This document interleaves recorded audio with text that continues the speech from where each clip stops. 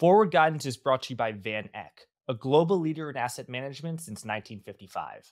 You'll be hearing more about VanEck ETFs later on, but for now, let's get into today's interview. An extremely important discussion today. I am joined by Michael Howell of Crossborder Capital and the Capital Wars Substack, and by George Robertson of the Monetary Frontier Substack. Great to have both of you here. Welcome. Thank you. Great pleasure. Thanks, Jack. I am really excited for this because both of you have been on the money and very right on where the economy and the stock market has been headed. I've interviewed you know, both of you on this program, and George, you said in November that stocks will soar as extreme government money printing continues. And uh, Michael, you've been on my program many times talking about how a surge in Federal Reserve liquidity is going to fuel a bull market in stocks, gold, and crypto. So basically, risk assets are going to crush cash and crush bonds, and just we're going to have a, a bull market in uh, everything that's that's risky, and that has played out. So I, I first of all want to roll out the red carpet to both of you on having been very correct on where the market is headed. That, as both of you know, is where the agreement between both of you stops because you have two very different explanations of what has been driving this bull market. Uh, Michael, of course, you have been talking about how it's a, a surge in global liquidity, and it is the, the, central banks and particularly the Federal Reserve that is enacting monetary stimulus, even as it's raised rates, even as it's reducing its balance sheet with quantitative tightening, that they have been injecting liquidity into the system. And George, you are on the complete opposite side of the spectrum, and you actually think not only does the maybe there is such such uh, liquidity, but you go I would say quite far and say the Federal Reserve does not matter right now at all. And even what we call the you know the the yield curve, the treasury yield curve is not the real yield curve. So you two are on totally opposite sides of the spectrum about what is fueling this this bull market. Um, let us just first get up your, your general views about liquidity and what has been driving this bull market. So I, you know, I hope this will be an exchange of views, a respectful debate. Michael, let's start with you. Uh, why were you and George right that stock, stocks would rally? And in your what have been the conditions of global liquidity uh, that has been rising, that has been driving the, the bull market that you and George correctly predicted? Let me kick off um, in terms of the views. We started to get pretty bullish around um, September, October of 2022 in the wake of the British gilt debacle, which uh, some people may remember was when the incoming new Prime Minister Truss uh, outlined um, uh, a package which didn't make any sense to markets. And the British Treasury market sold off very aggressively. Now, we thought that was a wake up call for policymakers worldwide as to what could go wrong because we, fe- we figured that we were facing uh, a long term outlook where you were likely to see a significant deterioration in fiscal finances across the Western economies. And uh, this basically mattered. And so it was likely that something would begin to change uh, at an extreme. We then got the SVB crisis uh, in March of 23, uh, and that was another wake up call. And what we've been seeing pretty much progressively from those two starting points is more liquidity being inched into markets by policymakers. Uh, the Federal Reserve has increased what we call liquidity injections, which is the active part of its balance sheet. Uh, it's been doing that uh, pretty much, or we would say pretty aggressively, uh, since March of last year. Uh, it began to inflect around the time of the British gilt debacle, and uh, bank reserves in the US have risen uh, pretty consistently thereafter. They're sidelining a bit or going sideways a tad at the moment, but notwithstanding, we think that in the medium term they're going to keep going. In terms of that liquidity cycle, uh, we envision that that is likely to peak out sometime in late 2025. That would make it a normal cycle. In everything that we see here, in markets, we think this is a very, very normal investment cycle. Now, I want to make two uh, further points.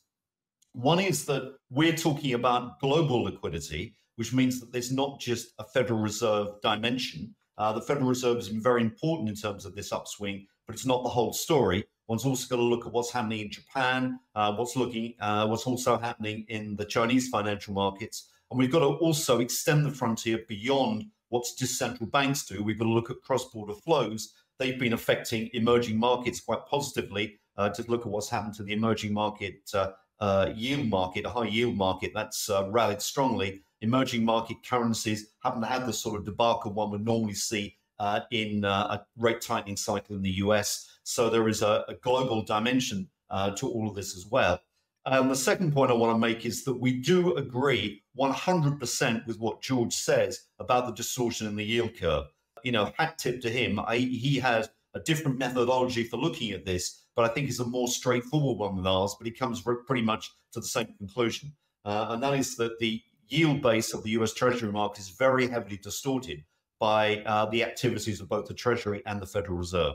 Thank you, Michael. So the term liquidity in markets if something goes up why? Because there's liquidity. It went down. Why? There's there's no liquidity. Very slippery concept. Hard hard, hard to define but michael i'm saying you you actually you know have, done the work to attempt to construct a global liquidity index where you add up the you know the money that from central banks the money from private credit creation and, and cross-border flows. So you have this index uh, and your, your index has been rising and that's why you've been bullish on stocks. George Correct. you've been bullish stocks uh, for particularly a, a, completely different reason. Tell us why as, as well as you know any potential disagreement you might have with, with michael's view. I think as, as far as like why i had prescience perhaps on why the stocks were going to go up was really a, a, a different worldview than um, well it, this is my worldview is that there's the united states and the rest of the world uh, this has been a reality since the end of World War II.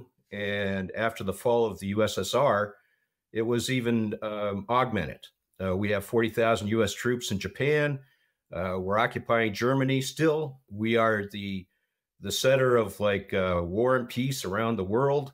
Uh, and of course, uh, the likes of Putin and others do this or that. Now, what has this got to do with the stock market? Well, what it's got to do with the stock market is that and it's actually a helps you if you're going to be a bit lazy is there's no need to really analyze anything else especially if your idea if your focus is on the s&p 500 in terms of uh, what's happening outside the domain of the us and us institutions. There's no flows to back any other conclusion. Uh, there, there is no cross-border flows of note. Uh, i'd say i don't know 90% of those are, are trade identities uh, especially after uh, um, China entered the World Trade Organization.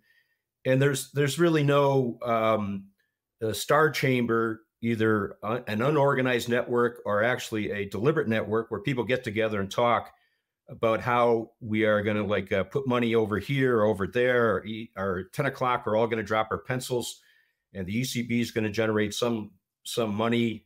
Uh, the Fed's going to generate money, and it's going to do this or that with some sort of um, uh, organization. And again, whether this is an unorganized network or an organized network doesn't really matter because I don't think it exists. It does occur often when we get into lulls, and they can be long lulls in terms of like uh, where the obvious factors that are into the market they're still there. They're they're always there. They're going on week after week after month after month, and I think people get bored, um, or it's it's not considered a good enough product to offer up in terms of analysis. And so they start to look at China and they start to look at the UK and they start to look at, at various other countries when all that matters is what the Uber driver in Ohio is doing and uh, how he's fared for the last six months and how he's likely to fare for the next six months. And then you think of all the 330 odd million Uber drivers. Uh, let's just use that as an illustration. I can't find any data uh, that has the UK influencing what's going to happen the S&P 500 uh, either as a leading indicator. From time to time, Canada has some interesting things to give our way, but that's just because of the um, a real crass and ugly way to state it is that that's just the 51st state uh, in terms of its economy. And so, um, and also Canada has uh, a corridor system in terms of how they set the Fed funds, uh, or excuse me, their central bank rate, uh, which is what the U.S. used to do, the Federal Reserve used to do um, and the U.S. still stays at a floor. So therefore, Canada does give us some insights. But as far as for um, influence in the S&P 500 and the stock markets and risky assets in the U.S., there, there's no international factors that exist but for war. Uh, if war kicks in, as we've seen with Ukraine in terms of its impact on oil and um, oil price and and various other things, if China gets scary in terms of Taiwan, yeah, you bet. Uh, but that's more of a function of the fiscal changes that the U.S. has to uh, put on its its uh, its books in response to the national defense. But as far as uh, any sort of uh, financial monetary you know, they just don't exist. And I would I would actually um, say that if you identify that there's there's such a thing as a global liquidity, uh, I think the uh, uh, not, not not to not to not to get the the boxing gloves on, but I think that's a spurious correlation. In other words, if you search hard enough, you can find indexes after the fact. Even after the fact might be five minutes, but after the fact, you can get all sorts of neat indexes like uh, uh, what's the coffee price influence on steel making in the United States. Everything comes in and out, but the thing I would watch, and I do watch, and have always watched is what's the Federal Reserve up to uh, in terms of its actual cash flow? Um, I don't really think there's such a thing as liquidity. Uh, it, the, the, the Fed and uh, if you allow me to just uh, deal with just the United States, the the Fed, not since World War II, um, and they didn't even do it during this COVID period, has actually put money into the country. Um, there are very small trim tab, which because of the law uh, that divides mandatory and discretionary spend from Congress does have influence. Uh, they, they can tighten, they can ease, but it's a small fraction of what the actual innate U.S. economy is doing, uh, given just the just the sheer immensity of the United States and the constitutional powers that have been granted Congress. So now, if Congress is tied up in sort of a, a five-year forward plan of like what they can spend and not spend, and and you can have some sort of uh, forward look in terms of what that's going to be, then yeah, the Fed matters, uh, and they they they can have a a influence. Uh, Volcker proved it uh, with uh, what he did, but by the way, that's the only time the Fed's ever proven that they can handle inflation. Uh, they they thereafter acted like as trim tab, uh, where they just did a very small amount of tightening or easing, which um, influenced the market that gave the forward expectations thesis that's the new Keynesian thesis, which has actually just gotten out of hand totally, which is that the forward expectations of what the Fed's going to do is all that counts. And it dominates, or is at least a, a, an equal with the fiscal posture of, of uh, that Congress gives us, uh, or exogenous events like COVID. Uh, and it's not. It's it's it's an administrator. It's the federal. It's the federal government's bank, is what the Fed is. It was never a policymaker. What's happened is that given what happened with the GFC uh, and the Fed moved to a completely radically new way of operating, which is this, which called Neo Wicksell Woodford or or have whatever you might want to call it. Uh, and it's it's there's a lot of material that uh, started with Woodford's uh, 2012 presentation at Jackson Hole, where the Fed just shifted to forward markets. They, they don't even deal with the now, here and now. All they do is talk.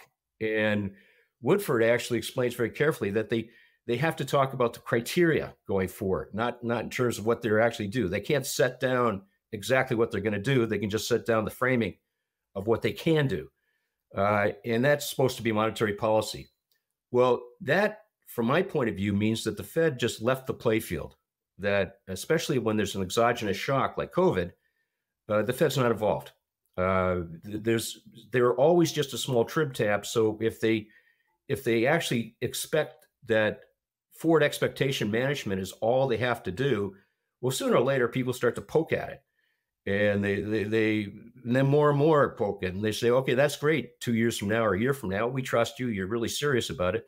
But what's going to happen now today? And I think that uh, what's what's what's evolved and what is about to evolve in a big way is that the Federal Reserve doesn't matter. So as far as calling stocks, it really was sort of almost a, um, a meathead approach. Is that if the federal government's going to spend 7.5 trillion uh, gross, uh, which is what they did do uh, before tax taxes raised, and not only that, that that 7.5 billion uh, trillion went to the lower cohorts of the U.S. economy, and the taxation, which dropped it to a net 3.5 trillion, uh, was from the upper cohorts in terms of income um, and corporate tax. So that that 7.5 trillion actually was close to I don't know six trillion, six and a half trillion in terms of the actual immediate effect upon the U.S. economy. How the hell can you have any sort of respect in terms of economics uh, in terms of uh, in looking at what the Fed flows are. Um, and so the Fed is present and it certainly dominates sentiment. Like uh, you know, most people they hear what I just said and they say, "Ah, he's a he's a he's a nut." Everyone knows the Fed's all dominant. Everyone knows that not only that the Fed hangs out with the Yellen as the bridge with the ECB and Lagarde, and everyone gets together and they plot out exactly what's going to happen for the next six months, which we will find out as the stock market moves or whatever. I say that's bunk. I, I, I say that uh, yes, sentiment matters, and the Fed is the principal definer of sentiment right now. And I think it's I think what we saw last week was the start of the the end of that uh, that grip on the market. Uh, it, it, was almost like a near panic, I thought, in terms of cash carry. All these other guys coming in, and you know, and Bostic says this, and Kashkari says that. Clearly orchestrated. Clearly, everyone had like six talking points in front of them before they go out. There is no independence with all the FOMC and the uh, regional Fed uh, governors. And so I think people will start to have to deal more and more with the reality of what the actual economic flows are. And right now, this is about the easiest time we've ever had in terms of seeing what's happening. Uh, it's no mystery. I mean, you, you just uh, you talk about the deficit; it's right there. It's right in front of your face. It's like a two by four hitting your head.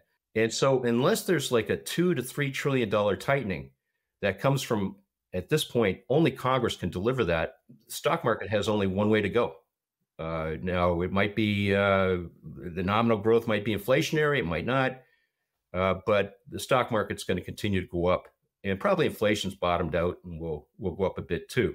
This will carry on until um, you know the, the likes of Professor Keen from Australia and uh, and the likes and the others uh, when until the it's recognized that there is no Fed effectively.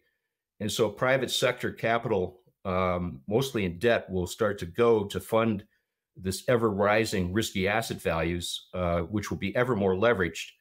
And that, of course, is a standard Minskian Ponzi uh, stage. Um, again, none of this stuff is nuanced.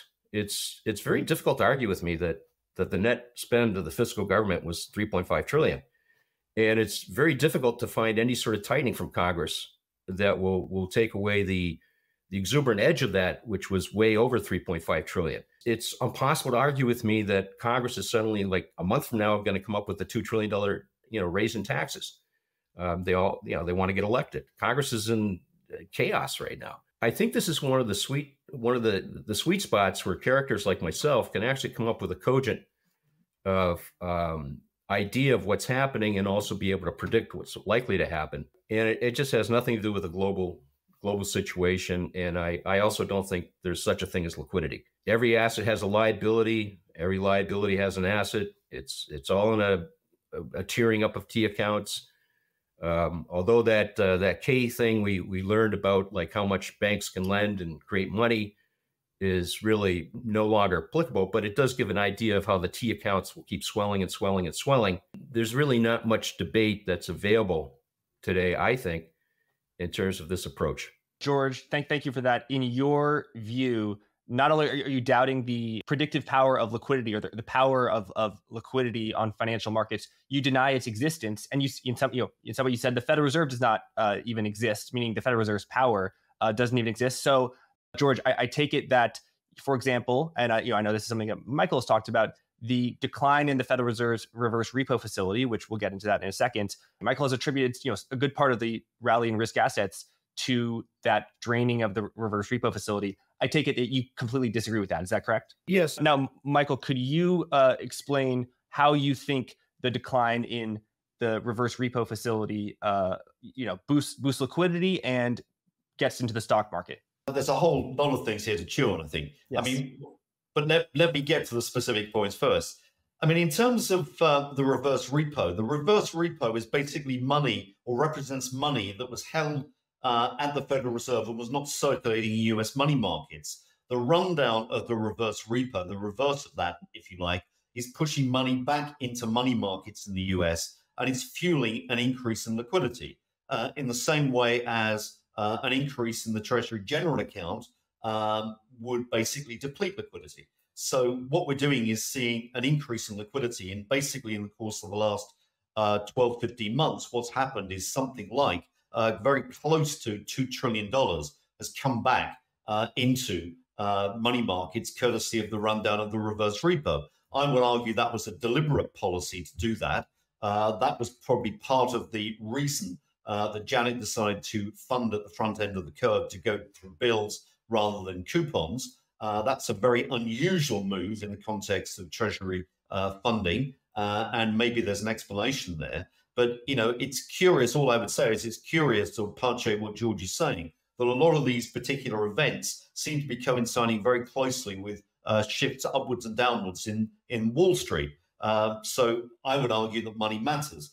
George's reference to the T accounts and the uh, increase and decrease in the size of the T accounts, uh, I go along with, but that's basically liquidity. Uh, liquidity is your ability to transact in markets, and the ability to transact is obviously to do with or connected with the size of the financial system. Uh, and if financial intermediaries are increasing their balance sheet size, uh, that by definition is a source of liquidity. Liquidity has a quantitative dimension, uh, which is what we try and calibrate. It also has a qualitative dimension uh, in the sense that it basically allows duration or it forces duration in the system to reduce. So, in other words, if you're uh, if the Federal Reserve is buying a treasury from the private sector and replacing that with cash, the private sector is losing duration and will basically have to uh, uh, somehow lever up by uh, buying duration elsewhere in the system. And ultimately, that is a way of the stock market going up. This is not just a US phenomenon, this is happening in other markets as well.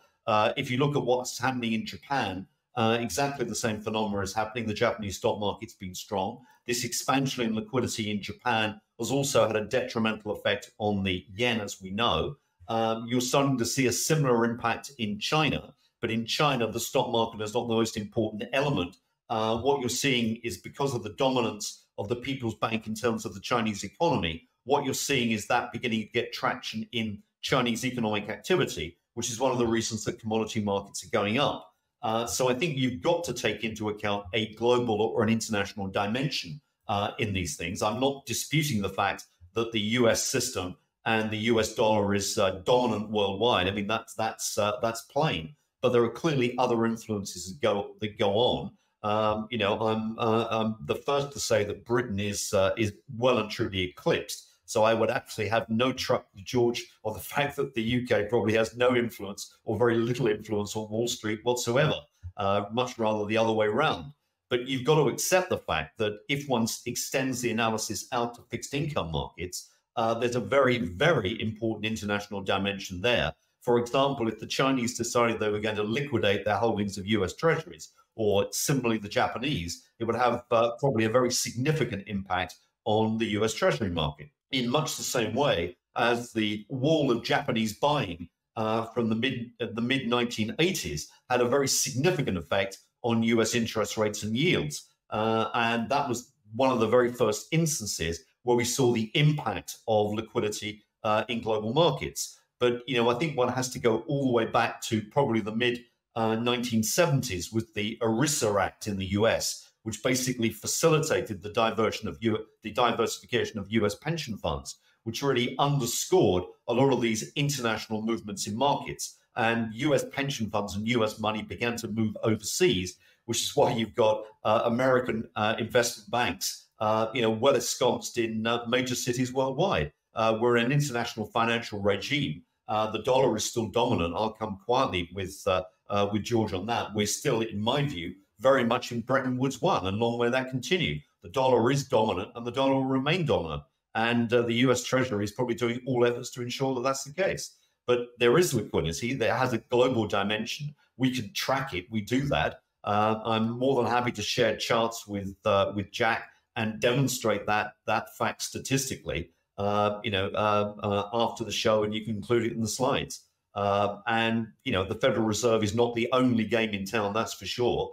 Uh, I don't believe that interest rate setting by the Federal Reserve is that important in truth. So maybe I'm agreeing with George on that dimension. And I think the only forward guidance that's important is Jack's show. Um, so, um, you know, maybe we're in some agreement there, but uh, there is definitely liquidity. That's what's mo- been moving markets. Fiscal policy is certainly important. There's no there's no question there. But the key question is how is this being financed? Uh, it's being financed increasingly by monetization, and that is the worry that we've got longer term. And that's probably the reason why you're seeing Bitcoin, cryptocurrencies, and gold uh, all continually going up now. In 2017, Forward Guidance's exclusive sponsor, VanEck, was the first ETF issuer to file for a Bitcoin linked ETF. Seven years later, Bitcoin ETFs are finally available. Using the VanEck Bitcoin Trust ticker HODL, you can invest in Bitcoin with zero fees until March 31st, 2025. That's right, zero fees until March 31st, 2025.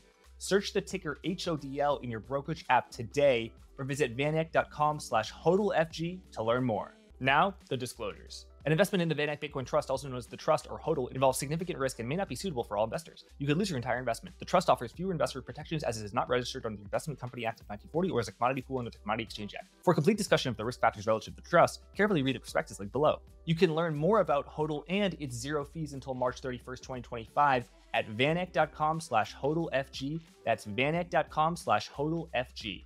And now back to the interview. Thank you, Michael. I before I, I hand it over to George, I got to explain a few things. The Treasury General Account is the U.S. Treasury's basically checking account with the Federal Reserve, and the Treasury is fiscal. Congress decides how much money to spend or not spend if it wants to surplus. Which last time I think they did that was you know over 20 years ago. Needless to say, the U.S. now has a, a deficit, and George is definitely in the fiscal dominance camp. That it is what Congress decides, and Congress is printing three and a half uh, dollars a year. When I say when I say print, I mean running a, a deficit. Public sector deficit is a private sector surplus, and that's part of the reason why the economy is so strong. Michael focusing on on uh, fiscal, but also focusing on monetary. The Federal Reserve Central Bank, which has very little to do with Congress. And when you know we talk about the Federal Reserve quote, printing dollars, it is almost always printing that dollars and then swapping those for dollars with the rest of the, the financial system. So expanding its its balance sheet, and, and that is uh, uh um, money with, within the private sector, particularly the banking sector, where it is very hard or often hard, definitely to, to get out in the real economy. Like the Bank of Japan printed an enormous amount of money doing quantitative easing, and it had deflation or exceptionally low inflation rather than you know runaway inflation. The, the much anticipated inflation from quantitative easing in the 2009 in the U.S. of course never occurred. Uh, although you know, we did have some inflation in 2022, and then, sorry, I just got to go, go through it. The thing about the reverse repo facility, yeah, that's basically an effective deposit facility with the uh, uh, Federal Reserve. And there was too much excess liquidity in 2021 and, and 2020 that it was parked, uh, funds, money market funds parked it with the Federal Reserve. And now that money is flowing back out into the financial system because the Treasury is issuing low duration Treasury bills instead of coupons which money markets can buy. You know, money market funds typically don't buy a 10 year note or a 30 year bond. They want to buy a six month, three month bill. And that is uh, increasing the supply of bills. So making them net more attractive to the money market funds that have, you know, it's a few basis points, but they, you know, it's on, it's on it's like five, $5 trillion or something. So it, it definitely matters. And then there's the core idea of when the central bank prints money again when i say money of course we're always talking about bank reserves which are the liabilities of the Federal Reserve and the assets of commercial banks and maybe some money funds, but not you and me in the same way. You know, it's not what you and I were, were have money, or even what Apple computers would, would call money. But when that when the Federal Reserve does that, it takes away an asset and it replaces it with a sterile reserve, with a, which a duration of zero, basically the least risky asset imaginable, just pure pure cash. And that, that then drives the private sector who just got their asset bought by the Federal Reserve or swapped or loaned or something like that, and to to replace that collateral, and then they buy it from someone else, and then someone else buys it from someone else, and then you buy a three month Treasury bill, and then you buy a one one year Treasury bill, then a two year Treasury note, a five year note, a ten year note, then you buy a mortgage backed security uh, agency, you know, no credit risk, then you buy a non agency one, then you buy a corporate bond, and then you buy uh, high yield, and then you buy leverage loan, and then you buy uh, you know a somewhat low risk stock like Coca Cola. Then you buy Apple. Then you buy a very high beta stock. Then you buy Bitcoin. Then you buy ETH. Then you buy you know uh, extremely high beta uh, speculative uh, uh, meme coins. So you know, that that is the so-called narrative. Obviously, I, I took it to a somewhat r- ridiculous level, uh, and that is what is referred to, I believe, as the portfolio rebalancing theory. George, empirically and theoretically, why, why do you think that that theory is wrong? Well, I think you, you touched on the big one, which was Japan proved it was wrong.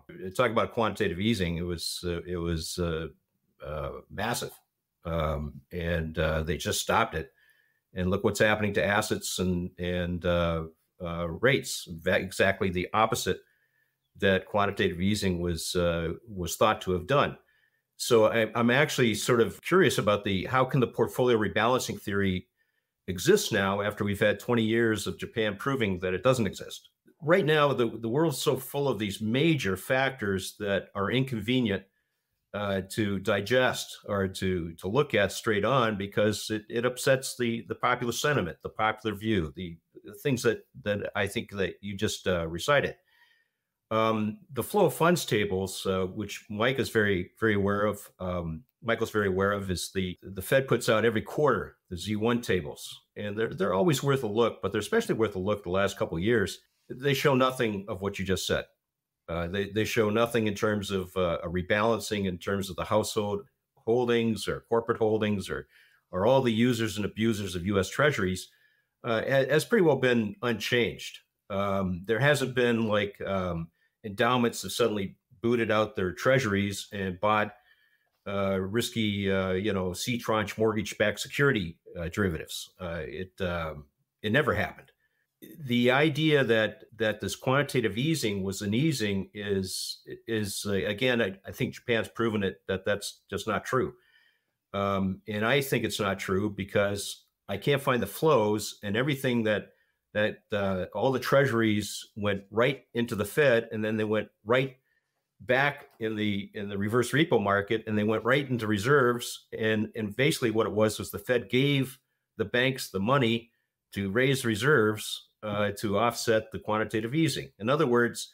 um, quantitative easing was actually reserve management, and it was so in Japan too. It was it was the the Fed for maybe good reasons was just had the heck scared out of them in in the uh, um, 08 to uh, 2010 episodes.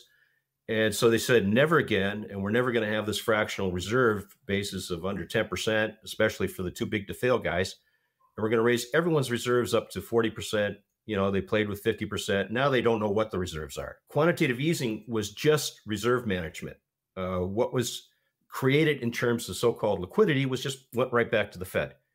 Uh, and that's the case today. Now, reverse repo um, is a really good illustration of this point.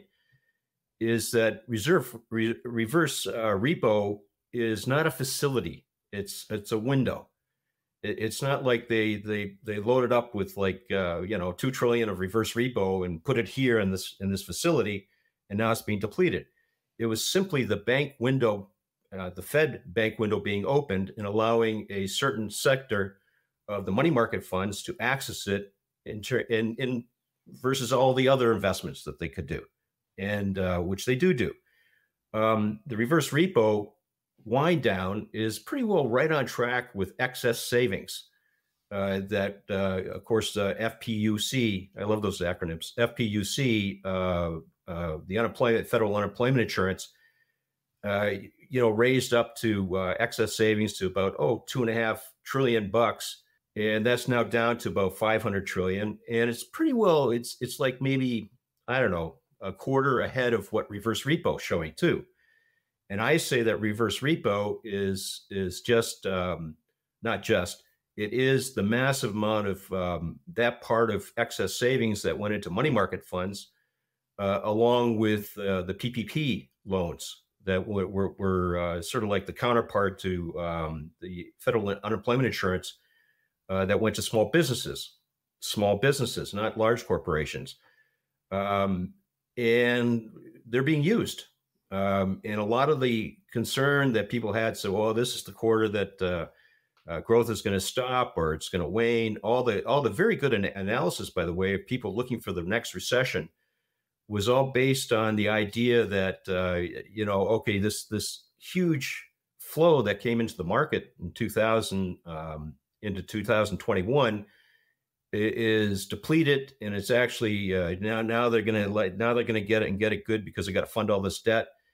Um, and instead, what's happened is that the innate NGDP growth, um, I think a pretty well classical Keynesian, not new Keynesian, but Keynesian ideas, uh, pump priming took off and uh, everything's carrying on. And so that, that excess savings depletion uh, and it never really it never really went to negative. Um, so the the innate NGDP growth actually created the the norm of excess savings about I don't know mid 21 or so, maybe approaching 22, and so they, the the economy hasn't blinked, but it has used up some of that excess savings. But now it has still some excess savings left. Same with the PPP money, which which I think is what the uh, the basis for the RRP is. It is not a facility. It is not being depleted. It was not an injection of money. It was uh, it was the results of the of the fiscal spend from 2020 to 2021. And and again, I I uh, I don't want to be a fool, so I, have looked at this five times a Sunday, trying to find the numbers. Like, okay, we're, we're, first I can't find the RRP facility anywhere in the Fed lexicon. I can't find the I can't find the Fed ever going to Congress and saying we'd like the slush fund of RRP to inject money into the system.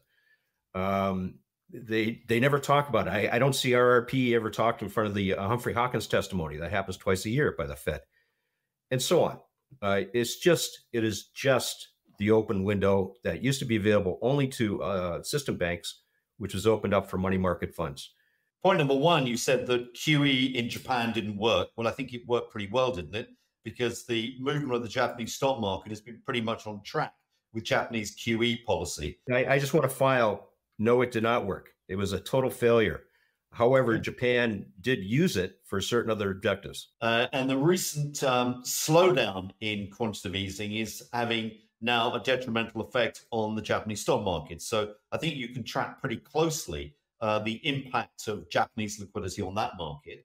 Um, I could actually look at a whole range of markets and do pretty much the same thing, trying to argue that liquidity matters. Uh, we're arguing here about uh, central bank liquidity. It's not the whole question, as I keep saying, it's an important part.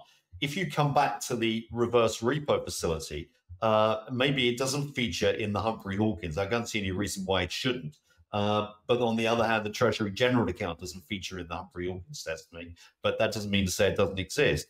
And if you look at the way that the Fed accounts for this thing, if the Treasury in the US spends more money uh, than uh, it gets in in tax revenue, the Treasury General account will fall, or uh, it will basically have to fund in the markets uh, in some way. So you know, there, there's a there, these things must add up. There, it's arithmetic, it's it's accounting, and if the Treasury General account rises, it's telling you that U.S. government revenues are exceeding U.S. government outlays. So money is being extracted from the money markets, and that money is by definition not circulating if that's the case uh, until it's obviously until it's spent. Now, the reverse repo is exactly the same thing. From what I understood you to say, George, that the reverse repo was a was a phantom or, or whatever, or, or a phony concept, uh, but it clearly is money uh, that is being withdrawn from the money markets because it doesn't feature in U.S. bank reserves. So, uh, pari passu with the increase in the reverse repo, uh, what we saw is bank reserves falling what we've seen as the reverse repo has been wound down, uh, bank reserves have increased. So there's clearly an, uh, an arithmetic or mathematical relationship between these concepts. Uh, it's money that is not circulating and is held on the on the Federal Reserve balance sheet.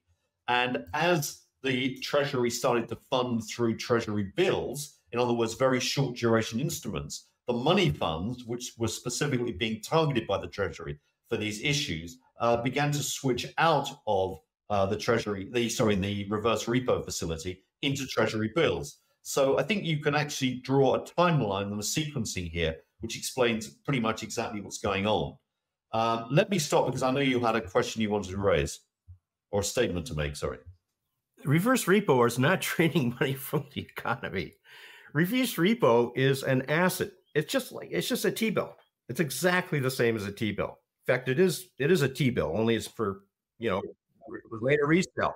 And until it's spent, it must be very. So you're saying that the money market fund, the guys who put money into the money market fund, have given money into the treasury, uh, and it's disappeared into the it's Fed. Not a, into the Fed, not, not, the Treasury. It's not a. It, it's it is not a reduction, and the reduction reserves. Well, bank, bank reserves have gone down, and bank reserves represent uh, liquidity in U.S. money markets. It's a pretty good proxy. I, that's just that's a fallacy. I, I can't I can't even uh, I can't even uh, talk about it. Everything has an asset and a liability. That's how we do dual accounting, dual sheeted accounting. There's not just one-sided flows that you you you say, oh gosh, there 500 billion just came into the market. Oh, 500 billion just left the market. It doesn't happen that way. 500 billion goes into the market, and on the other hand, there's a liability. 500 billion that goes into the market is also has an offset in terms of a li- it, it there's there's an, a dual-sided accounting that's always going on.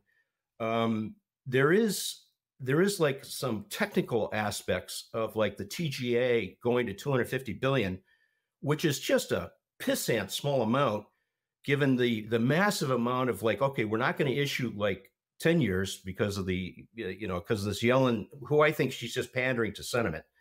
So I'm going to um instead of like I I know I can get these 10 years off in like 3 months or 6 months which is more probably in the schedule of the spend that Congress has allocated, you know, has authorized uh, for the various agencies to to spend. Uh, but instead, what I'm going to do is just pre-fund it. These are just pre-fundings, and as it comes in, then what you're saying is that this is some sort of quasi-permanent thing. Well, as soon as that that that T-bill matures, as soon as that actual spend is allocated by the agencies that have the, the authorization to make that spend, and they don't just do it like here, Congress did an act, and so therefore the next day, boom, it all plows into the economy. It's over like you know the uh, FUP FPUC was uh, uh, an authority for that was a weekly spend. PPP was uh, you know came in and drips. You know, you just look at the balance sheet uh, or look at the uh, the allocations that the the banks made on behalf of the SBA. That took about about about a year to put out. Um, the spending is not done immediate. And yet Yellen decided that she's going to do a lot of this stuff in a three month horizon versus like what should have been a scheduled uh, laddered approach for like, I don't know, the, you know, the CHIPS Act, I think is a 10 year plan uh, and so on. So she's pre funded the spending that will exist. And as she's pre funded this, which by the way, I don't think is legal. I, I, I think that uh, there's discussions right now that there's limits to how big the TGA could be uh, that money will all go out. And so you're, you're describing a world that that is just convenient uh, to make an argument out the you know the importance of the Fed and all these like uh, machinations, but you're describing a world that that as far as like present value, future value, doesn't even exist. It's that money is going to be spent, and that TGA will be spent, will be sent out. And reverse repo is not a facility; it's a window is is is just like uh, I'm a money market fund and I can buy T bills and put it out and well, I can't do LIBOR anymore because they you know the Fed decided to take that away from me. So I'm going to go do um, uh, reverse repo. And what's going to happen is I don't have to go through the banks anymore because every quarter the banks don't want reverse repo on their books. So they don't want to be an agency. So we have those big spikes and, uh, uh you know, uh, dislocations at end of quarter, end of year so the Fed says, well, we don't want that anymore. So we're going to have the money market funds, especially given all this money, not liquidity, money that the federal government gave to various people, is going to come into this window directly rather than through the banks. Where does this money come from? The money comes from 7.5 trillion fiscal spend. Yeah, but where, but where does that come from? When the government spends seven and a half trillion dollars that it doesn't have, it borrows it. Where does that money come from?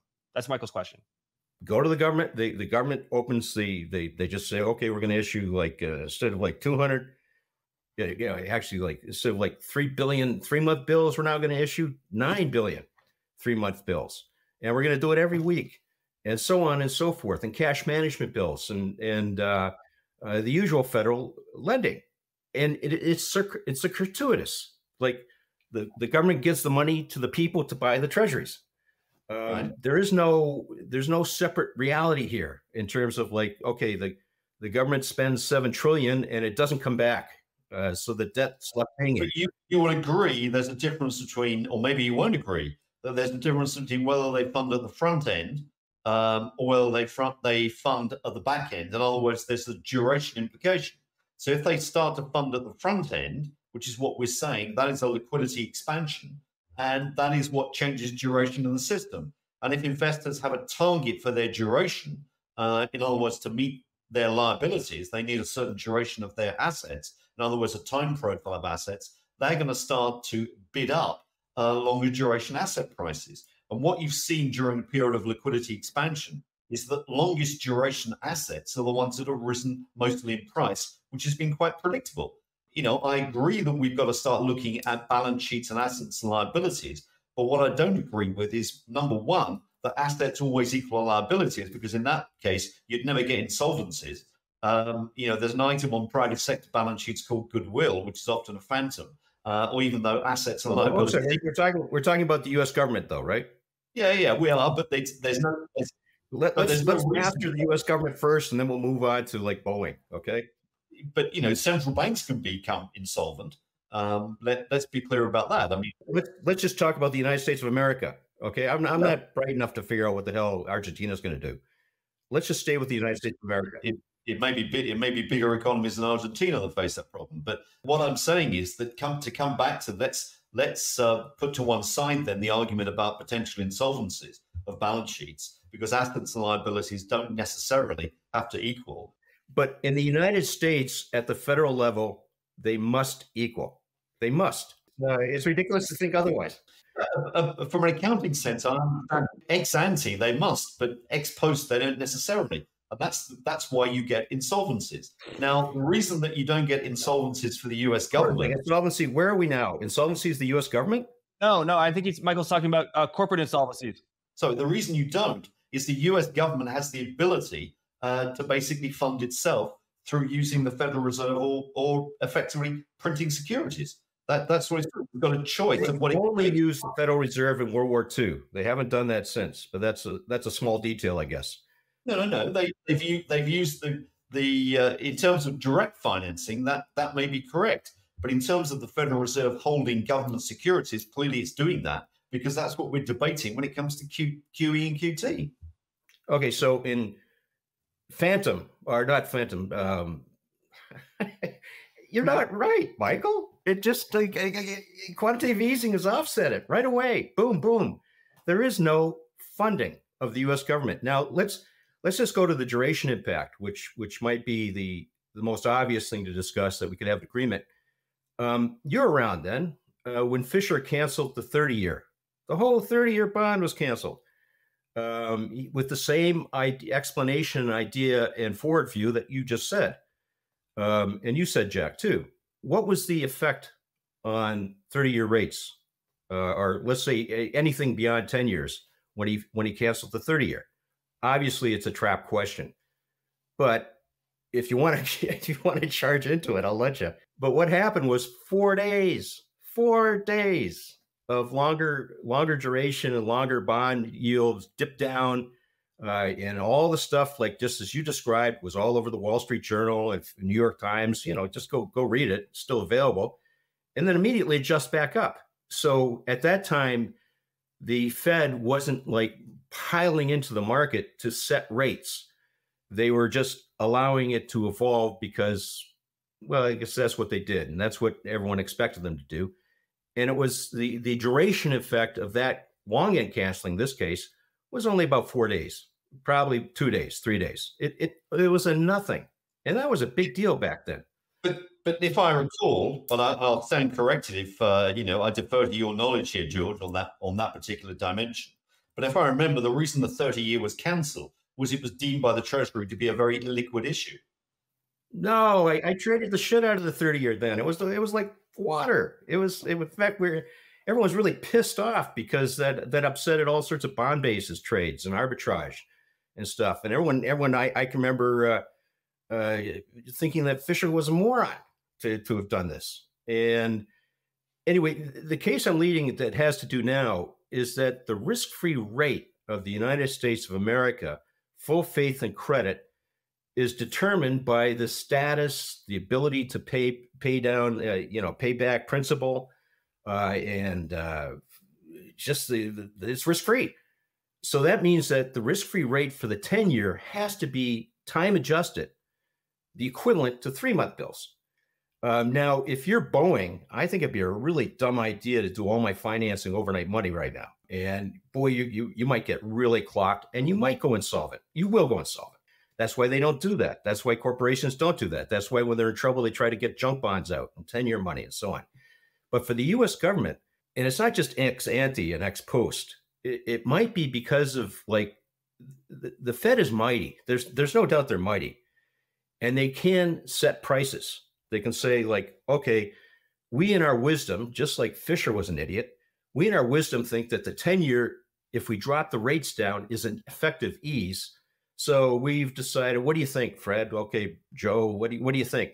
And they come up with all their PhDs and they say, okay, it's going to be 4%. And the 10 years, 4%. And, it, and it's it's just like what they did to the secondary market corporate credit facility and various other things. The Fed is huge. So, but that doesn't mean the risk free rate is 4%. The risk free rate is that rate which goes in and out of the economy and, and has a, a, a uh, you, know fully reflects both the uh, the liability and the asset side of the economy, um, and that will be there always. And it doesn't matter what people say that the twos to tens are here or there. The risk-free rate twos to tens will be as it should be now, five years ago, and five years to come. So to to to uh, to say it, it just doesn't it, it just baffles me that after 30 odd 40 years of all this arbitrage and futures and bases and curve trades all the stuff we've done uh, as an industry that people would even talk about like you know because of yellen issuing uh, more three month bills than 10 years down the road by the way that this is going to adjust rates it doesn't um, as far as the issuing price goes. And it won't, it just as that three month uh, um, T bills start to roll off to six months or, or uh, you know, they, they mature and then, then she does replace them with 10 years and 30 years, which she will without a doubt. That will not, there won't be any, you won't even be able to look and see it. You, you look back at all these charts and graphs and you, it, it, it doesn't show as far as the issue price goes. This is, um, you know, on your topic now. Why is there a wider spread between the agency mortgage yield and the 10 year treasury? Because that surely has got a lot to do with funding. Michael, I didn't make a prior agreement for you to ask that question. I'm glad you did. The US has decided many, many years ago, right after World War II, that they would subsidize the purchase of houses uh, by the US public. And the way they would do that is at first just the odd programs to purchase mortgages off the banks, but we had S&Ls. So the, the, mortgage rate wasn't really the risk-free rate, but for that part that went into the uh, um, into the uh, GSE's coffers. However, after I don't know when, when Lou Ranieri and all those characters start the the industry up, mortgage-backed securities, as far as conventional 30-year mortgages, replaced all of the S&L's holdings. There is no more S&Ls. Nobody holds a mortgage anymore. If it's a if it's such and such a criteria, and uh, credit rating, uh, which is called conventional 30 years, 100% of that will go into the creation of mortgage-backed securities. To, to speak, Larry, it's it's not actually 100%, but it, it is is very high, and it is way higher than it, than it used to be. Um, yeah. Know, I know I know of a few savings and loans that re- retain, but yeah, the, the main model is non-banks making mortgages. Oh, I, I, forgot you have that you have that federal home loan bank expert in your pocket. Okay, I'll, I'll back off and I will be corrected. Yeah. But enough for me to make my point. Yes, uh, sure.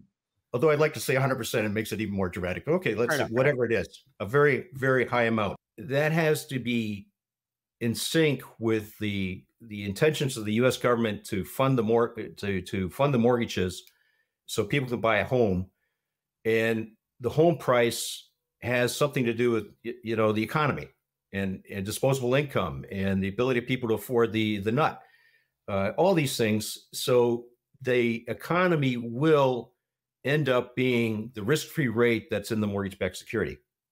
Um, it, it's otherwise they they couldn't get enough mortgage-backed securities, or they they would have too many, uh, and and the markets would would have huge permutations, and and it wouldn't be wouldn't be sustainable.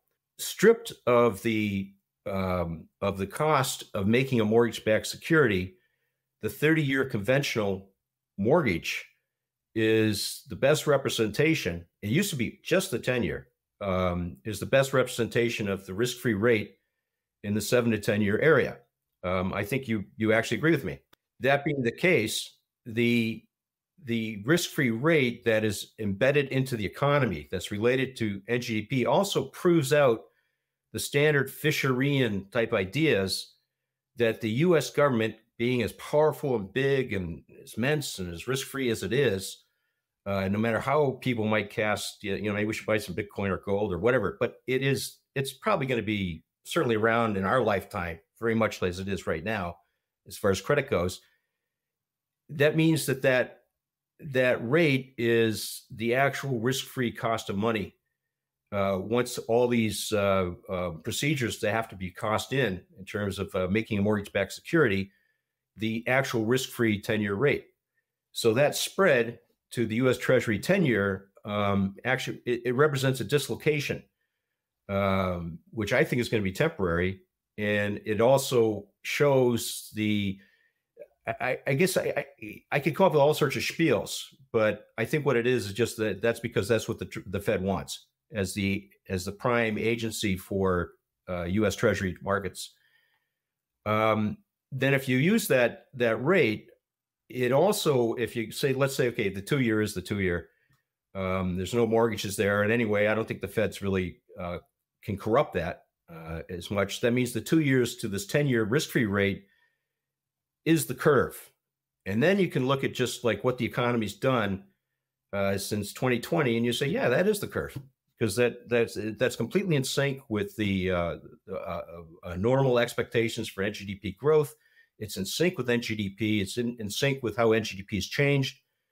Uh, and of course, NGDP is nominal. Is nominal. It's it's uh, inflation plus real, and that proves out the Fisherian ideas that Fed funds equal instantaneous real and also instantaneous inflation. Only it's T plus one, two, three, out to t- you know whatever you where. Listen up, because wow, I'm going to agree with you because this is this is what we're on the same page here.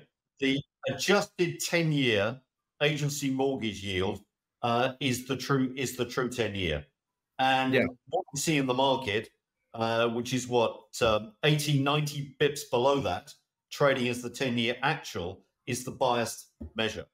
I think is biased because what the Treasury and Fed together have done in terms of pushing yields lower through a change in the funding structure. That's where I come from and it explains it perfectly. The last time that happened was in the in the global financial crisis in 2008 9, and they did exactly the same thing. They pushed yields below where the mortgage uh, agents, where the agency mortgage market suggested it should be. We would agree on that. I I, I would, and it, I don't think it's just semantics. I would say they priced U.S. Treasuries deliberately at certain price levels, and I, I think they're out to lunch. I, I think to think that a, a, low yield is is an ease and a higher yield or what what the um, the natural rate would be is a tightening is just it's just nuts and we we've um, we've had all sorts of experience in Japan Fisher was right inflation plus real does equal the the uh, uh, the U.S. Treasury cost of money or the risk-free rate. Also, what's interesting, by the way, is that Michael, I, I would challenge you that how can you agree with me on that that the 10 year risk free rate is here and this is the curve and then and then start to talk about liquidity uh, in terms of bills and one years uh, versus the 10 year because all the stuff the twos to tens is is the economy because that spread between the agency mortgage market and the treasury uh, and the treasury market that is determined by the pattern of funding.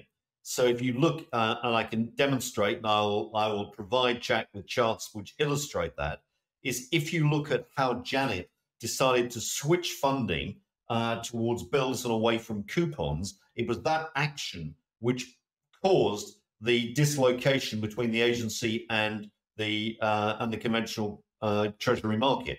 Uh, and you can see that now beginning to unwind as bill issuance starts to slow and coupon issuance picks up. And so, what you'd expect to see are those two uh, yields moving together. In other words, uh, treasury yields, conventional treasury yields, have got to pick up substantially and move to where uh, to circa five percent plus, which is where the agency mortgage risk-free measure, as you call it, is currently uh, signaling. So I think the yields are rising, and I think the yield curve is steepening. And when you see liquidity expanding in the system, you normally see a steepening yield curve. Uh, and that's what I've always uh, uh, known and uh, and used ever since I, like you, was at Salomon Brothers. It's all about understanding of liquidity. How can a artificial be too strong a word, perhaps, but an administered rate for the ten year? And I, by the way, we agree. Uh, I, I, do think it's it's uh, it's a policy decision that the ten years here and the, the risk free rates up here. By the way, that didn't happen. That never happened for like 35, 40 years um, until uh, I, I, think the date was uh, it was the beginning of 21, or actually no, it was more recent that uh, about third quarter of 21. Correct. It did happen before in the GFC. Yeah, so it's it's well before Janet Yellen decided to issue a bunch of bills versus like wait for the 10 year. Correct, but if you go back to the GFC, there was a huge amount of bill issuance then. Yes, but I would say that during the GFC, it was useful, if not actual fact, to use the U.S. Treasury 10 year as the risk free rate. They're one and the same. Um, and so the curve was as it should be, given what happened with the, the various fiscal spend and uh, monetary at that time. This dislocation didn't start until 21 it's it's it never was there before. It was it, it wasn't there for uh, 30 40 years until the uh, you, you, know until the time the mortgage-backed securities were created. Correct because normal funding patterns are 20% bill 80% coupon. And that changed as you rightly point out uh, at that time so janet changed that mix temporarily and it was also changed uh, if you go back to the gfc but you can't you can't have it both ways you can't say that the duration management by us treasury and no doubt they're doing it, or they think they're doing it, is influencing rates. It's it's setting this this U.S. Treasury rate, which is a pretty big market. I'll give you that, but it can only exist as long as the Fed's in there to the degree they are holding U.S. Treasuries. It's an administered rate, and as soon as they decide, as soon as they stop QE or QT, just this is it. This is where the reserves are going to be here on. That that will close. It will disappear because it requires new fuel all the time to get that dislocation in place.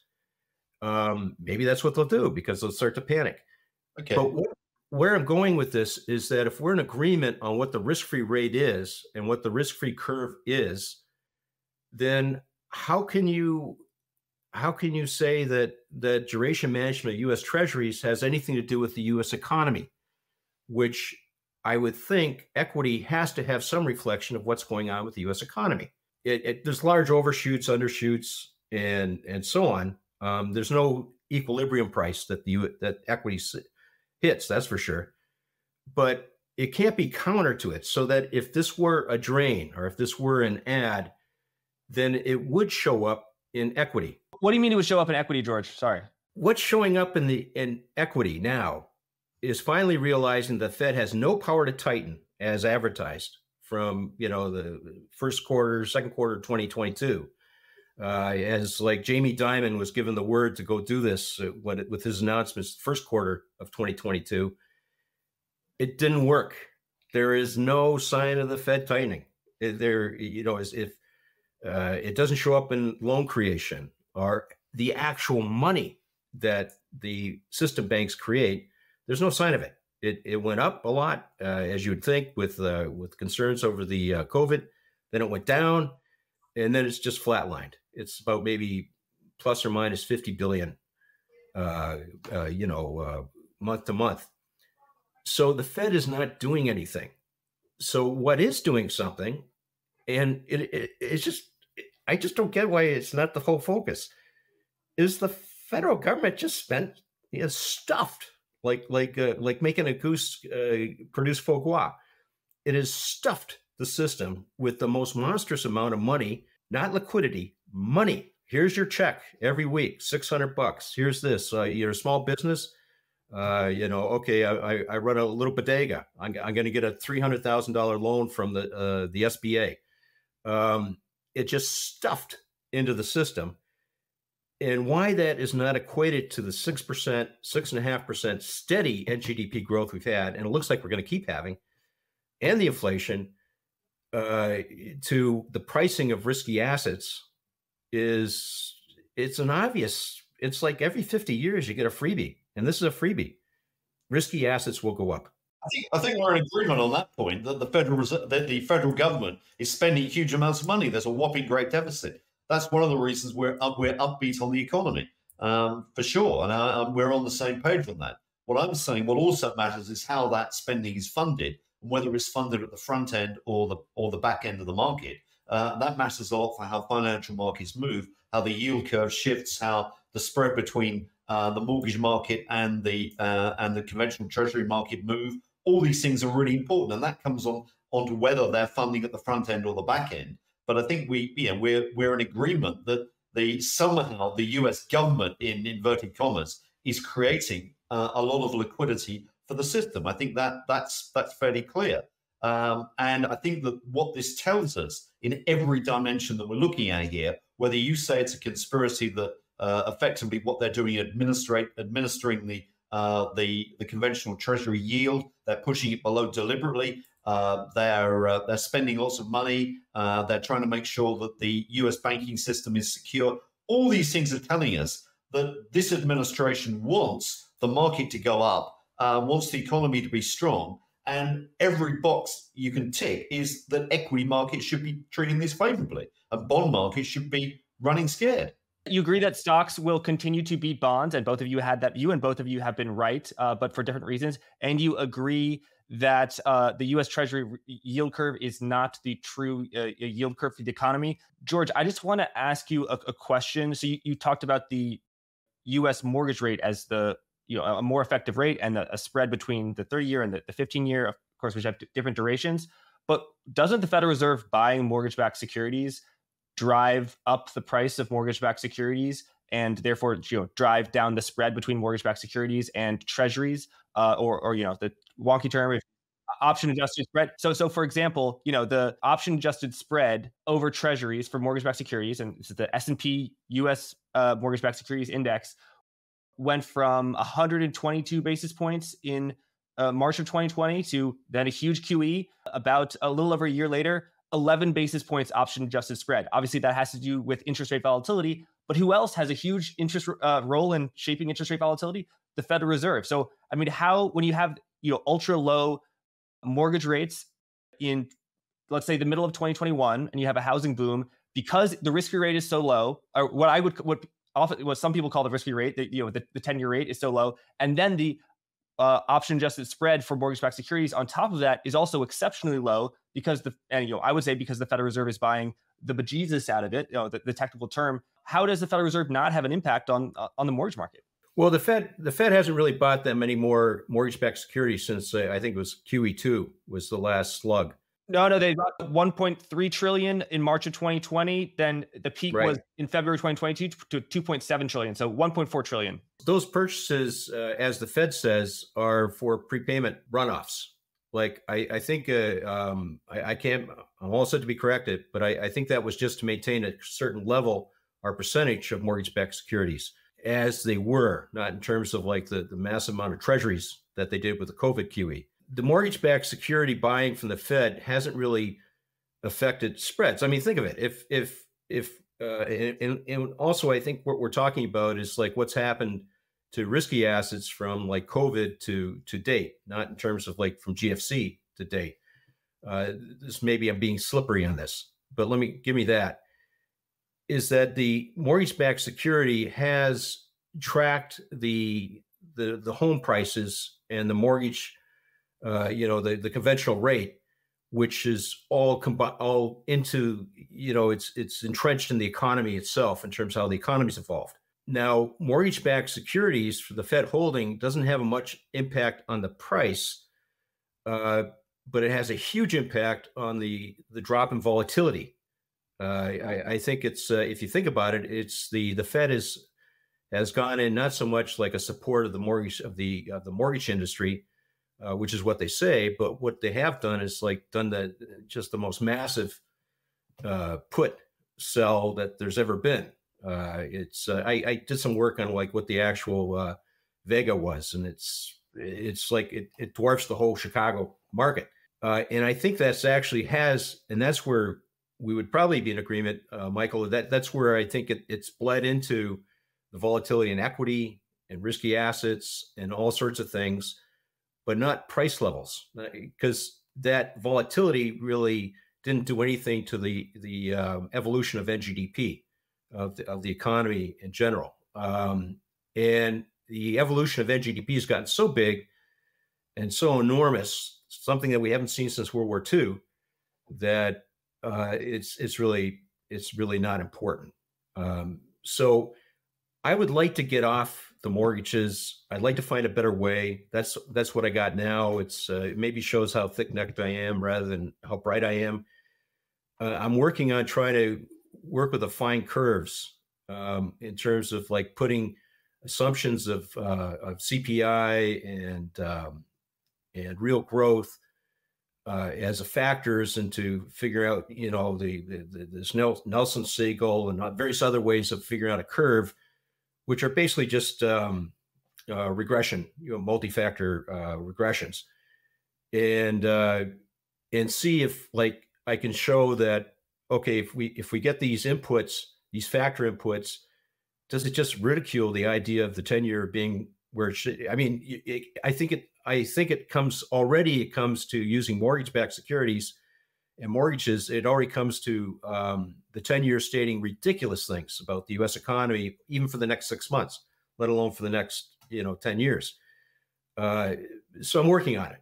I, would like to get a, a, a thing such that a, a um, a, trained econometric guy or a trained economist wouldn't just laugh me out of the out of the out of the water.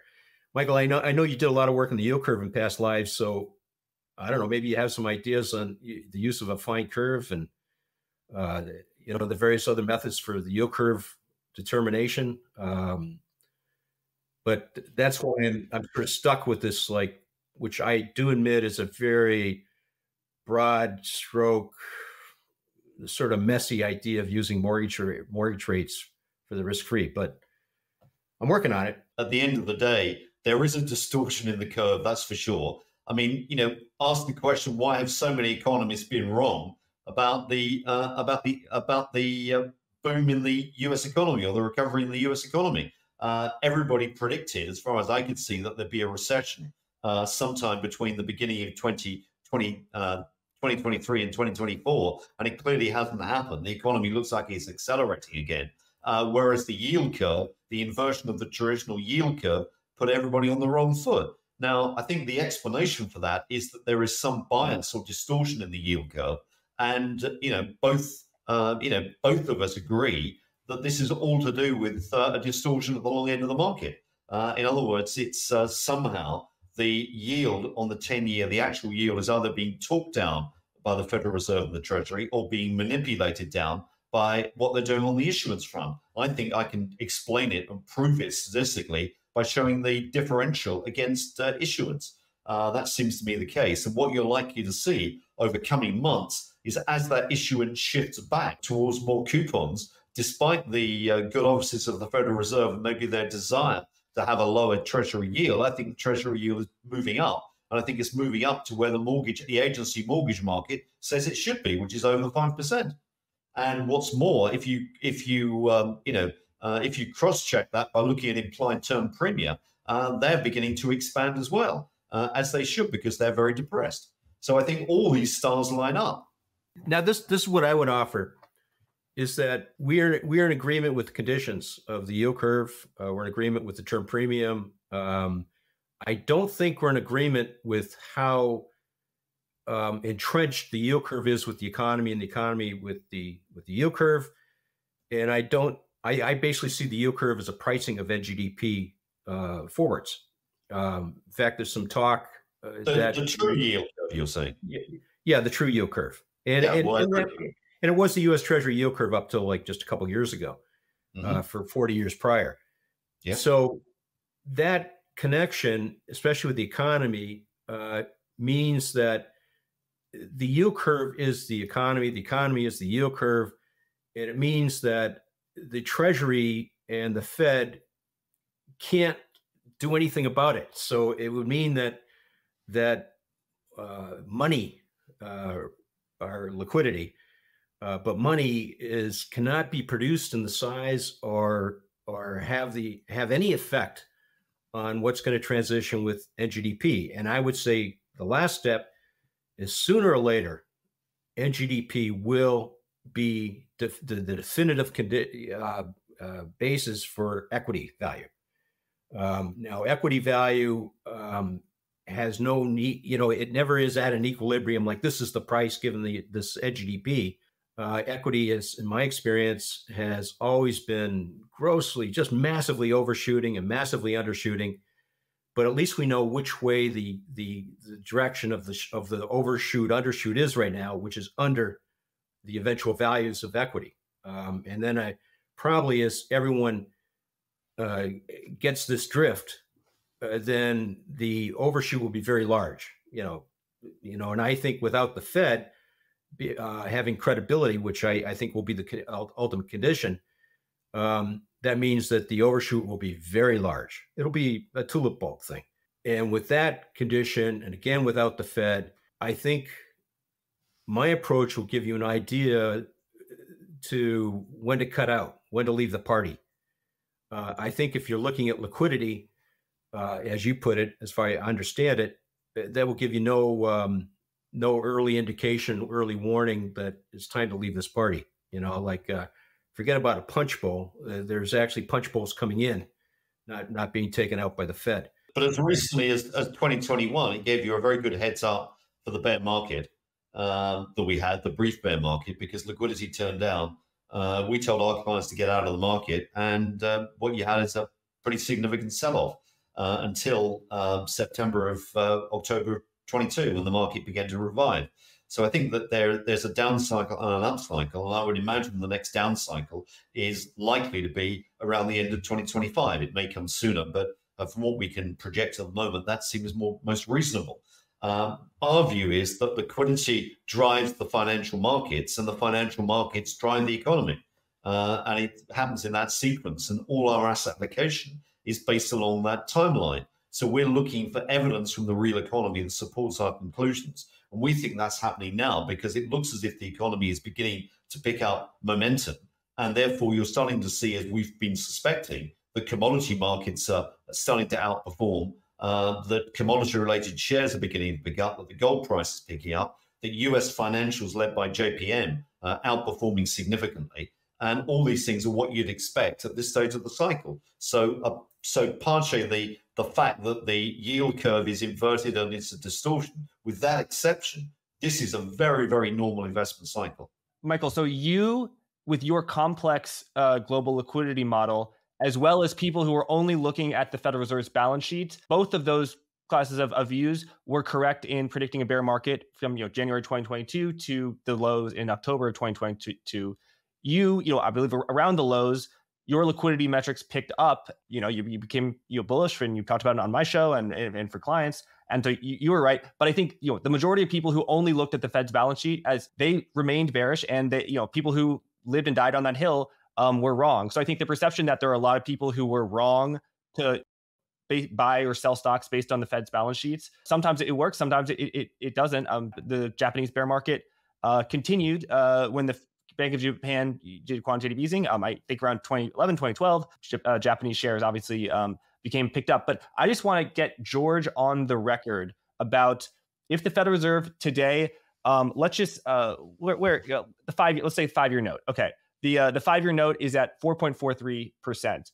If the Federal Reserve today, shock and awe, bought let's say 200 billion dollars worth of five year notes today, do you think the yield would go up or down or stay the same? I think the yield would go down, and there'd be a big fuss about it. I think guys like Michael would pick it up. I think that is definitely the popular view, and it's a mighty view. I mean, there's a lot of money flowing on that view and uh, and we've we've seen it a couple times uh, this type of thing. Um, we saw it this morning with CPI. Uh, I haven't looked at the market since we started to show, but it looked like it was starting to bid up. Um, sentiment's a powerful thing, such that eighty percent of the right sentiment's the way to go. I'm a goof. Uh, it uh, you're not going to make any money with your Bitcoin if you listen to me. But the, the trouble with with that that obvious uh, connection that you just described is that it won't it won't give you any idea of how to manage a portfolio. It doesn't give you any idea of how to how to manage risk from an asset liability point of view. It it doesn't give you any ideas like when it's going to get weird. Um, and it, it's just it's just dancing to the the the the movements and the and very noisy movements. You know, the Fed wants everyone to know what the hell they did. They'll unleash cash and carry on us.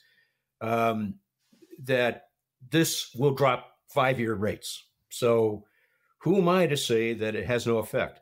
But I do say that in terms of economics, uh, I'm going to hang my hat on Fisher, and it has no effect.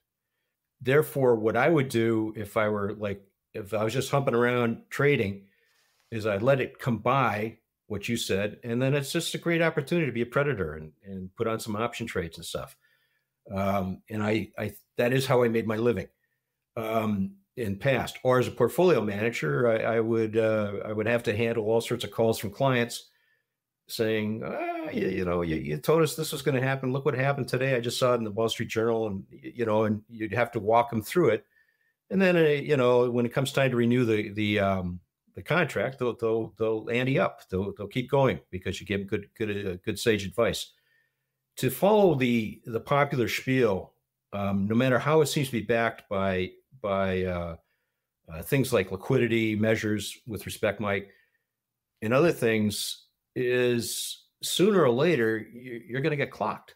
Like not just clocked ruined.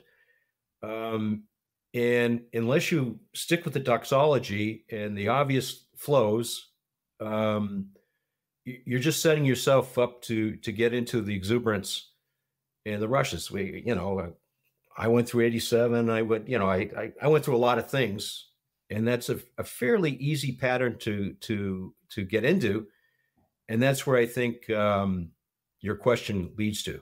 It, it, it seems to confirm um, a condition which is just pure sentiment. Um, and then when sentiment becomes 130% of the move, then you get in real trouble.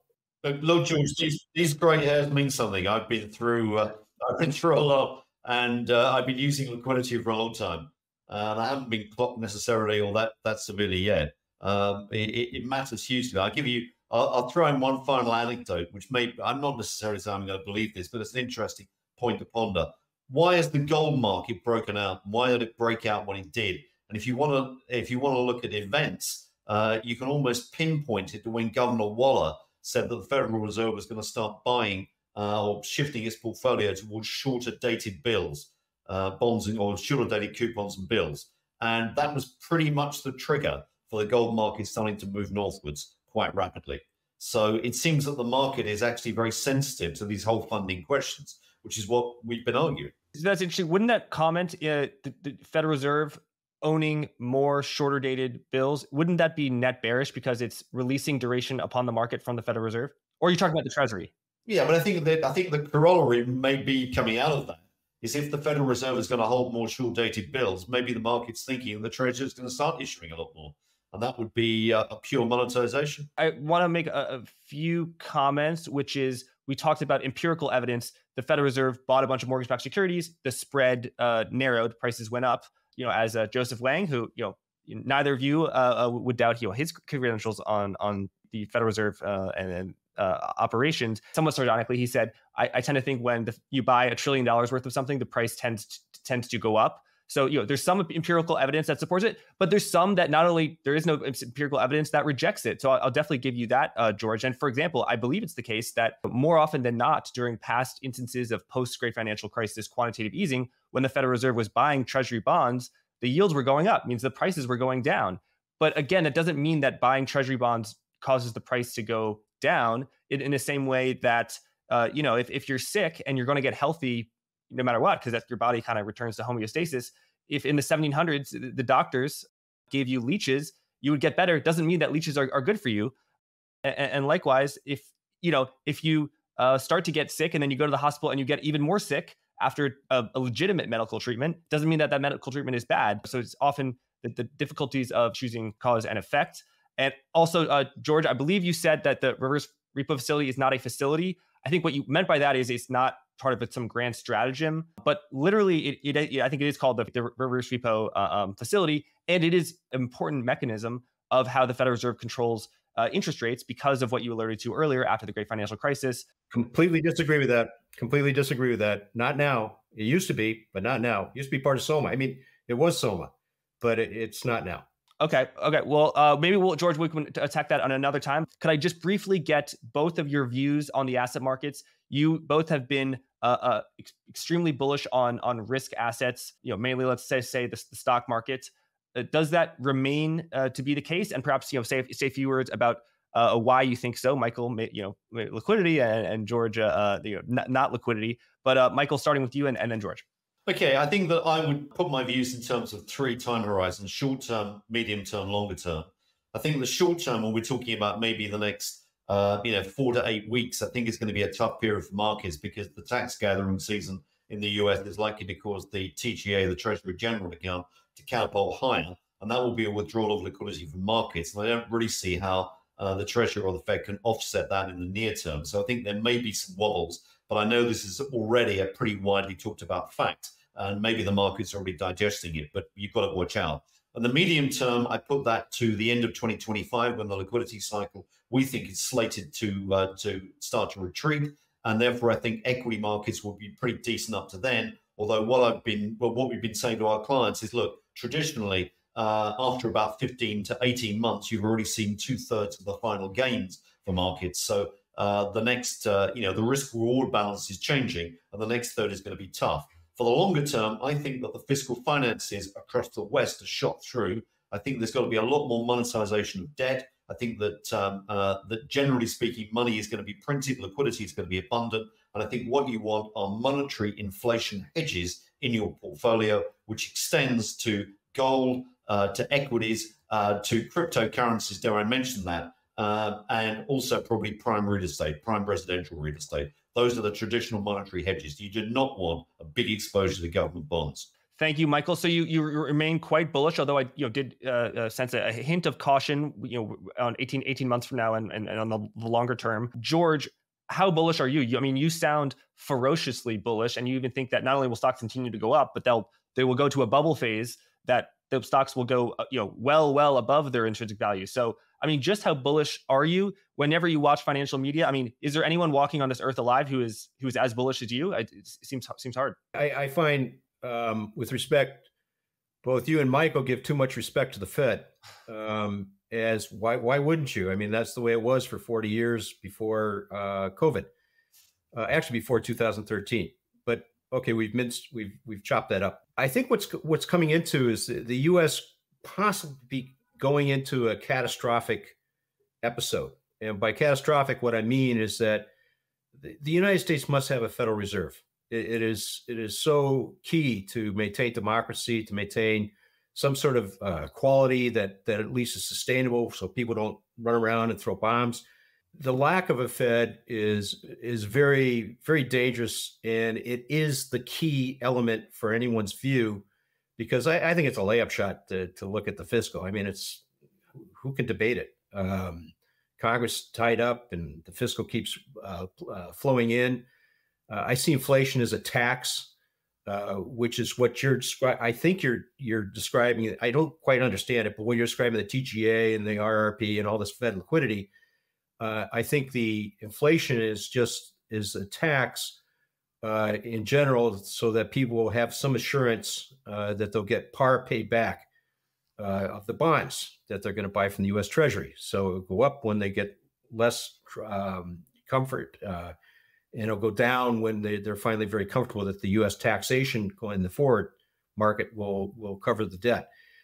Where's that lead us? Um, I think the the big thing is not the norm of tax seasons and this and that, all that stuff. It's it's like uh, you know anyone who's been looking at the market for a year or two has been told to think that it, it it's going to be that I think last week was very important. Is that for the first time? And there was a I forgot who wrote it, but there's a, um, a guest uh, editorial about questioning the Federal Reserve in the Wall Street Journal.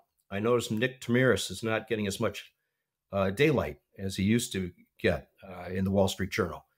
Uh, it looks like the Wall Street Journal started to hedge its bets in terms of like basing everything on Nick Timiraos's midnight calls with Michelle Smith uh, from the Fed. The conditions we saw last week, how the market was starting to counter trade to what used to be the usual vaudeville act of all the Fed governors and, and uh, regional presidents talking, and as usual, was capped with Kashkari saying this and that. They started to trade against it. Um, they're they're they're actually starting to um, sort of rise up in the face of like what the Fed obviously wanted to do was saying, oh, hold on, it's not it's not in the cards that we're going to ease, uh, and they're trying to paint a bearish picture because I think the Fed only reacts only has a reaction function to the the market to the stock market, uh, popular opinion. Uh, so what does this all mean? Is that I think the market is going to go wilding. They're gonna they're gonna like uh, give up on the Fed. They're going to dis, they're going to give up on this whole idea that there's this international organized structure, uh, liquidity, uh, and they're just going to like say, "I better buy now, or I'm going to be left behind." Uh, and they're also going to come to the realization, as if your portfolio manager at say MetLife, that the only real hedge you can't go buy a bunch of gold if you're running a general account uh, for life insurance. Uh, the only real hedge I have for inflation is stock uh, good name stock. So they, they there'll be a uh, like an 87 Nifty 50 type of of surge. Um, so and that will have spillover effects. So I, I'm going to stick with my view that uh, we're going to see 6,000 or so by the end of this year, and six percent on the U.S. Treasuries as people realize that this is somewhat of a con. All this all this Fed focus. And then once we get to that point, we're going to get a, a very significant private sector um, uh, almost like a, a pseudo Federal Reserve in the private sector. It's just going to be created out of nothing uh, as all these various uh, private sector lenders get together. Uh, and that will be the end of the of the speculative phase, uh, and we'll get into a Ponzi stage, uh, as as Minsky has described. Not too hard to to understand it. It's just debt upon debt upon debt, where debt finally is being issued just to finance the previous debt uh, just to stay alive. And it becomes like Wile E. Coyote running off into space. Um, that will take the market probably to levels that will be just bizarre um, and frightening. Uh, so I say 6,000 at the end of this year. I said 5,000 at the end of last year, and I screwed up. I was only three weeks, you know, three weeks later it happened. Um, when this Ponzi stage occurs, and I do think it will occur, um, and for the reasons I just laid out, uh, will it's almost ridiculous to put a level out. Um, it, it's like saying, what's the peak of tulip bulbs? Um, and the Fed will start to scramble. Congress will start getting the shit scared out of it. There'll be a new administration in place, whether it's Trump or Biden or whoever and uh, they'll be starting to they'll start to realize that they're walking right into a a very serious possible crisis in their first year of their new of their first term and it's going to get crazy. Uh, so i don't think the fed can backtrack and reassume like monetarism or the, what it used to have before it went to uh, neo um, neo Wicksell so I, you know, six thousand seems like a little strident. The next level, if this does happen, it's going to be wild. It's going to be wild. So, so Michael, you uh, your main, you're quite bullish, but George, you are foaming at the mouth bullish. Think that we'll, we'll go to a Ponzi stage. The end of a Ponzi is the Minsky moment, and that means we'll probably see a 2000 S&P 500. Um, okay. So there you go. I want my cake and I want to eat it too quite quite dramatic. Uh, George, thanks so much. People can find you on Twitter at Bicker in Brattle, and your Substack is the Monetary Frontier. Uh, Michael, people can find you on Twitter at Cross Border Cap. That is the name of your firm, Crossborder Capital. And then you've also got a Substack called Capital Wars, which is also uh, the name of your book, which which I uh, have and read and enjoyed. I, I recommend it to people. And incidentally, as you know, Michael, it is how I uh, came up with the name of this show. I said, you know what, Michael Howell, he knows what he's talking about. I'll just go through his index and find some financial term that will be, you know, the, the name of my show, and, and that's how I got it. So um, thank you both for having this uh, uh you know respectful conversation. You guys disagree, agree on a lot, but but I've I've learned a lot, and I, I know our audience will too. Uh, thank you both for coming on, sharing your insights, and thanks everyone for watching. Yeah, Michael, I owe you dinner if you ever get to New York. Okay. That's great. I look forward to it, George. I'll, I'll be over okay, soon. Thanks for watching. Remember to check out vaneck.com slash HODLFG to learn more about the VanEck Bitcoin Trust, ticker HODL.